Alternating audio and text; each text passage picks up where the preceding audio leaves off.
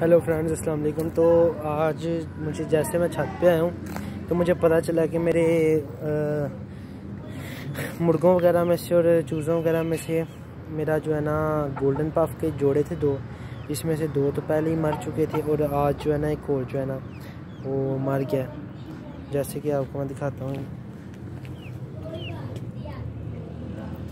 तो ये golden puff जो है ना, ये चूज़ा मर गया है मेरा।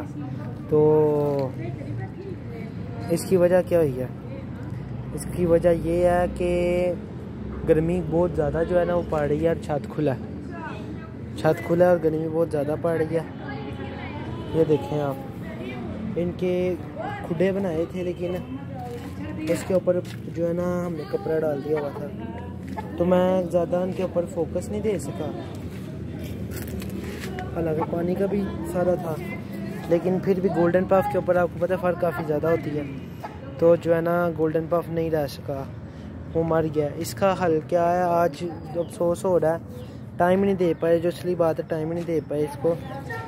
तो इसका हल जो है ना, ये है कि हमें पानी के अंदर अपने जानवरों को ज़्यादा से ज़्यादा जो है ना ग्लूकोज और, इसके अलावा जो है इनको पानी साफ़ देना चाहिए, ठीक है? और हाथ बदल के दो तीन दिन दफ़ा जो है ना हमें दिन में इनको पानी देना चाहिए। टाइम टू टाइम जो है इनकी केयर करनी चाहिए। जो गोल्डन पफ हैं, वो उनके ऊपर फर जो होती है, ज़्यादा आती है। काफ़ी बाल बड़े होते हैं, उनको जो है ना ज़्यादा जो है ना केयर चाहिए होती है। अभी ये मेरे असील के भी चूज़े हैं। ये असील चूज़ क्या मेरा एक, ये भी काफ़ी छोटा सा है, लेकिन ये जो है गर्मी में सर्वाइव कर गया इसके ऊपर फर कम है। तो बस आज के लिए इतना ही था।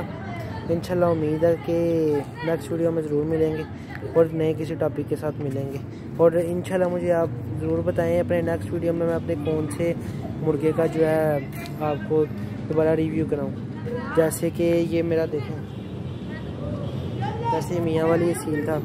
इंशाल्लाह मैं सब के आपको दोबारा बताऊँ कराऊँगा और बड़ी माजरत कि बहुत देर बाद, मेरा है साल बाद शायद मेरा दोबारा ये जो है ना, एक समझे ब्लॉग जो है अपलोड होने जा रहा है। ओके भाई सी हो गया ना हाफिज़